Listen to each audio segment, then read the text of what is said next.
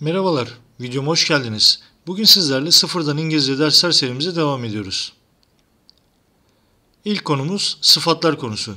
Sıfatlar arkadaşlar ismi niteleyen e, ifadeler olduğunu biliyorduk. Şimdi bunu İngilizce olarak nasıl ifade ediyoruz görelim. I am pleased ifadesindeki pleased ifadesi sıfat olarak kullanılıyor. Ben memnunum demektir. Pleased memnun demektir. I am ben demek. Ben memnunum şeklinde burada cümlemizi kurabiliyoruz. Peki I am biliyorsunuz I am, he is, she is, we are, you are, they are gibi ifadelerde bulunduğunu biliyoruz arkadaşlar. Daha önceki derslerimizde görmüştük. Örneklerimize devam edecek olursak I am tired, yorgunum. I am bored, sıkıldım. I am sad, üzgünüm. I am busy, meşgulüm. I am interested, ilgiliyim. I am afraid, korkuyorum. I am eager, istekliyim. I am reluctant, isteksizim.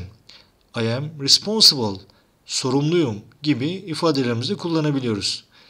Burada arkadaşlar e, örneklerimizi çoğaltırken bir de preposyon dediğimiz yani ben bir şeyle meşgulüm derken ben hani he is busy derken ne diyorduk arkadaşlar? O meşgul. Bir şeyle meşgul derken arkadaşlar prepozisyon dediğimiz ile ifadesi anlamı katan with kelimesini kullanmak zorundayız. He is busy with the project yani proje ile meşgul şeklinde cümlemizi tamamlayabiliyoruz. Böyle hemen hemen her sıfata bir prepozisyon yakıştırıp bu şekilde kullanabiliyoruz arkadaşlar. Bunları daha ileriki gramer derslerimizde, daha üst seviyedeki gramer derslerimizde daha detaylı olarak göreceğiz arkadaşlar. Ama burada bir giriş yapmak açısından faydalı olacağını düşünüyorum size hatırlatma konusunun. Sıfatlarımızı bu şekilde öğrendikten sonra şimdi gene konularımızı zenginleştirmek babında yeni konumuza geçiyoruz. Aile ziyaretleri konusundayız aile ziyaretleri kapsamında nasıl İngilizce olarak ifadelerimizi kullanıyoruz inceleyelim. Excuse me, is Ahmet at home? Affedersiniz, excuse me bildiğiniz gibi affedersiniz demektir. Ahmet evde mi? Is Ahmet at home? Ahmet evde mi? Come in please. İçeri buyurun lütfen. İçeri girin lütfen anlamında kullanılmaktadır. Come in, içeri girin ne olarak kullanılıyor arkadaşlar? Emir cümlesi olarak kullanıldığı için come in, içeri girin, please, lütfen, içeri girin lütfen. Please, bas, e, sona gelebildiği gibi başa da gelebiliyor please ifadesi. Lütfen, sit down, lütfen oturun. Sit down, sit oturmak demek, sit down oturun, bir yere oturun derken. Yani kanepeyi göstererek please sit down şeklinde birisine oturma buyurusunda bulabilirsiniz. Would you like some tea? Daha önceden duymuştuk arkadaşlar. Would you like? Yani ister misiniz? Ne ister misiniz? Some tea. Biraz çay ister misiniz? Yani çay ister misiniz ifadesini ne olarak kullandık arkadaşlar? Would you like some tea? Çay alır mısınız? Buraya would you like coffee yani kahve alır mısınız şeklinde burada ifadelerimizi çoğaltabiliriz. Örneklerimizi renklendirebiliriz arkadaşlar. Yani çoğaltabilmek için de bu teknikleri kullanabilirsiniz. Could you, would you like some orange juice? Yani portakal suyu ister misiniz gibi örneğinizi çoğaltabilirsiniz arkadaşlar. Bununla birlikte Gene gittiniz bir yere bir ziyaret yaptınız. Do you smoke? Sigara içiyor musunuz? Yani bir yer göstereceksiniz sigara içmesi için. Do you smoke? Sigara içiyor musunuz? Smoke sigara içmek demektir. Do you smoke? Sigara içiyor musunuz? Gramer konularına burada çok takılmayın arkadaşlar. Bunların detaylarını dediğim gibi ileriki derslerimizde daha detaylı, daha iyi şekilde anlatacağız. Ama burada kalıp olarak bunları öğrenmemizde fayda var. Welcome. Thank you for your visit. Welcome. Hoş geldiniz. Ziyaretiniz için teşekkür ederim. Thank you for your thank you for your visit ifadesini hem girerken hem de çıkarken söyleyebilirsiniz arkadaşlar. Hoş geldiniz. Thank you for your visit. Thank you, teşekkürler. For, için, your visit. Ziyaretiniz. Ziyaretiniz için teşekkür ederim şeklinde ifademizi kullanıyoruz. Şimdi burada temel iki konumuzu öğrendikten sonra bir de dilimizi zenginleştirmek için, konuşma alanımızı daha genişletmek için arkadaşlar İngilizce günlük ifadeleri öğrenelim. Stop it. Dur artık. Stop it. Dur artık. Don't do that. Don't do that. Yapma şunu. Kes şunu artık. Don't worry. It is okay. Don't worry. It is okay. Endişelenme. Her şey yolunda. Don't worry. Worry endişelenmek. Don't e, olumsuz olarak talimat veriyorsunuz. Don't worry. Endişelenme. It is okay. Her şey yolunda. Watch out. Dikkat et. Watch out. Be careful aynı anlama geliyor arkadaşlar. Dikkatli ol. Be careful.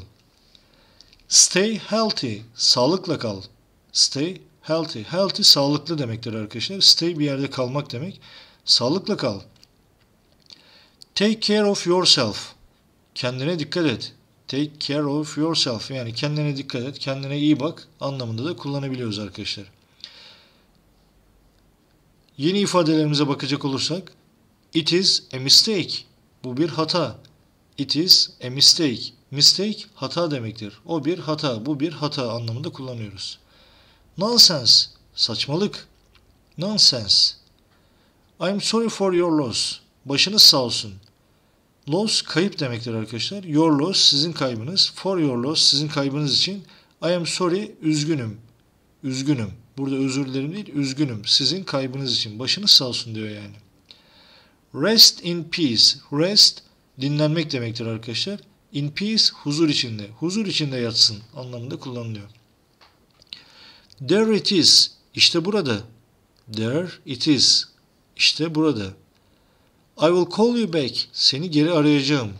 I will call you back. Call aramak demektir. I will ecek acak yapacağım demektir.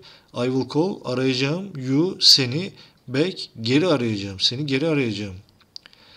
I feel great today. Great harika demektir. Büyük demektir. I feel hissediyorum demektir. Today bugün. Ben bugün harika hissediyorum anlamında kullanıyoruz. Şimdi gene dilimizi zenginleştirmek babında yani dilde dili kullanımı zenginliğini arttırmak babında yeni kelimeler öğreneceğiz arkadaşlar. Onları inceleyelim. Drop, damla yani su damlası veya ilaç damlası şeklinde kullanılabiliyor. Drop. Patient, hasta. Patient. Nurse, hemşire. Nurse. Injection, iğne. Injection. Medicine, ilaç. Medicine. Rest, dinlenme. Rest. Appetite, iştah. Appetite. Blood, kan. Blood. Examination, muayene. Examination. Pulse, nabız. Pulse. Breath, nefes. Breath. Powder, pudra. Powder. Health, sağlık. Health. Digestion, sindirim. Digestion. Treatment, tedavi. Treatment. Sweat, ter. Sweat. Valid, geçerli. Valid. Signature, imza. Signature. Nationality, milliyet. Nationality. Border, sınır. Border. Luggage, valiz. Luggage. Car, araba. Car. Truck, kamyon. Truck. Submarine, denizaltı. Submarine. Ship, gemi. Ship. Boat, kayık. Sandal. Boat. Aircraft veya plane, uçak. Aircraft, plane. Ticket, bilet. Ticket. Railway, demiryolu. Railway. Departure, kalkış. Departure. Passenger, yolcu. Passenger. Connection, bağlantı. Connection. Exit, çıkış. Exit.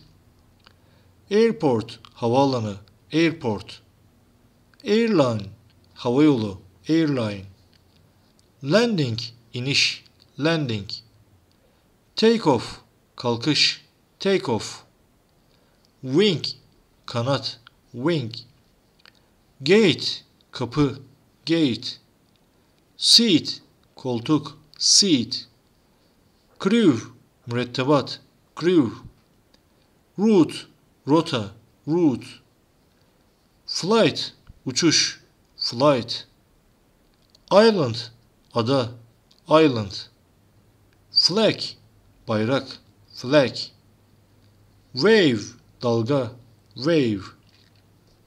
Coast, kıyı, coast.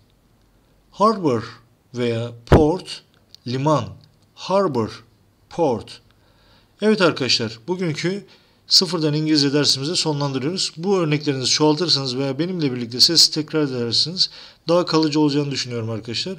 Bu çalışmaları tekrarla güçlendireceğinizi düşünüyorum. Hepinize kolaylıklar diliyorum. Videomuzdan hoşlandıysanız like atmayı ve kanalımıza abone olmayı lütfen unutmayın. İyi günler.